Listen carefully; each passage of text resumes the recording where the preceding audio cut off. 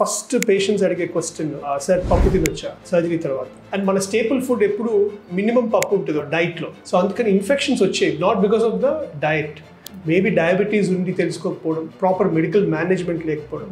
So now we come past all those hurdles ఆ stage అంతా అయిపోయింది. ఈరోజు ఐ సర్జరీ అంటే it's like a day care more cosmetic you come finish the procedure step out అందుకని టెక్నాలజీని మా department I ophthalmology చూసినట్టు I don't think any other department has seen with the help of technology manual involvement లేకుండా the benefit of a technology to give the best outcome safe outcome and the most precise outcome ఒకప్పుడు if you see an eye doctor he only use to prescribe glasses ఒక torch పట్టుకునే వాళ్ళు till the end maximum ఎంత వీలైతే అంత extend చేసుకుని లాస్ట్లో ఒక సర్జరీ చేసి అవుట్కమ్ కూడా ప్రెడిక్టబుల్ ఉండేది కాదు. ఇప్పుడు it's totally changed With the help of technology, one is early diagnosis, good procedure planning, and safe procedure. Post-operative lo medicines are so advanced, medical management is so advanced.